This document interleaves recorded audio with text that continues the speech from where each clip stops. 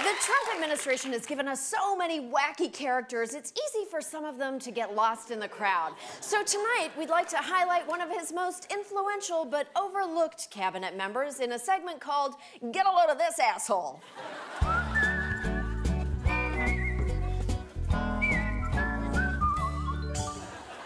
Secretary of the Interior Ryan Zinke doesn't look like an asshole. He looks like your charming, handsome Republican, but believes in climate change daddy. And yes, I do mean daddy in the sex way. The nominee to be Secretary of the U.S. Interior Department says it is, quote, indisputable that climate change is happening and that humans are a big cause. Those that don't know me, I get my inspiration from Teddy Roosevelt. Ragnar is our ambassador to happiness at the Department of Interior.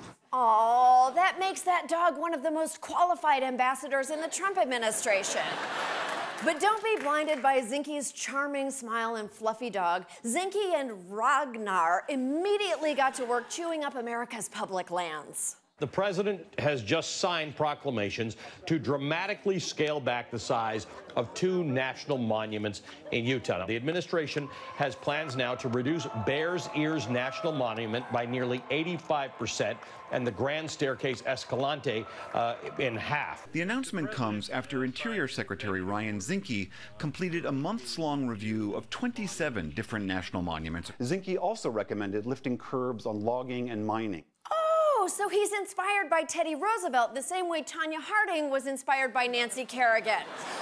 Zinke's undermining of public land has managed to anger an impressively diverse range of people. He's earned the mild, amicable wrath of Utah residents who haven't been this upset since they found out their basketball team was going to be named after the devil's music. And he's also outraged Native Americans who say this violation of their sacred land is the most disrespectful thing Trump has done to them since last month. To the Navajo and Hopi, Zuni and Utes, these canyons hold the spirits of loved ones. They live among us just like you and I were communicating. These are your neighbors. And they're probably saying, get a load of this asshole.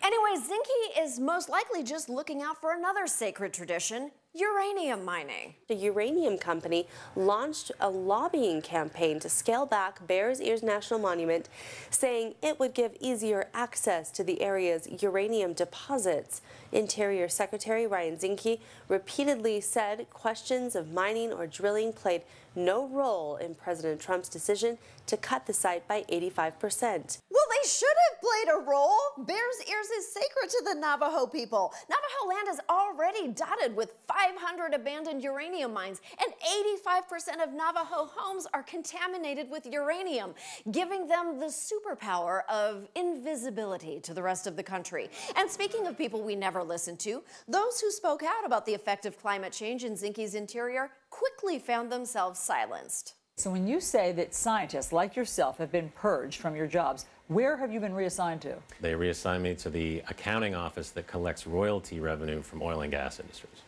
And is accounting your specialty? I have no expertise in accounting. Oh, that's so sweet. He still thinks you need expertise to be a part of this administration. Zinke didn't bring much integrity to the job, though he did bring a horse. Oh, damn, there are two Republican horsemen in one show. Oh shit, there's a third one. Okay, we are just one horseman away from the apocalypse. But Ryan Zinke isn't just your typical Trump appointed sentient chicken nugget. He's a former Navy SEAL and he brings a certain military flair to the office. Even outside the Interior Department, it's easy to know if the secretary is at his desk because he has ordered the secretary's flag raised above the building when he is in and taken down when he is out, according to the Washington Post. The Queen of England's staff follows a similar protocol, but on this side of the pond, not even the president does that. Well, he will now that he knows it's an option as soon as he finishes designing it. And it's not just the flag thing. Zinke really knows how to make work fun.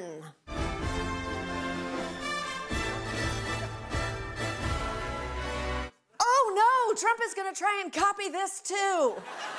Zinke brings that kind of enthusiasm to everything he does, even swing dancing with Second Lady Karen Pence. Well, more like swing dancing at her.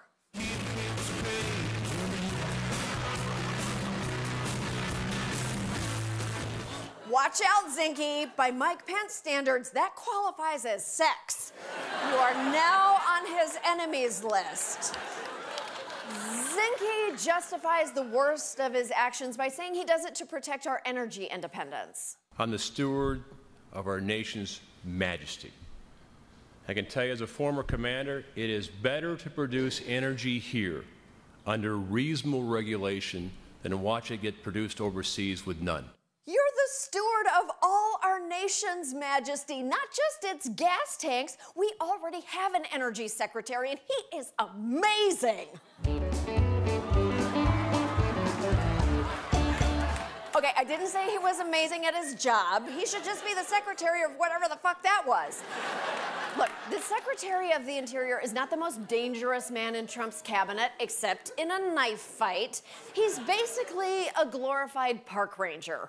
Remember, kids, only you can prevent forests.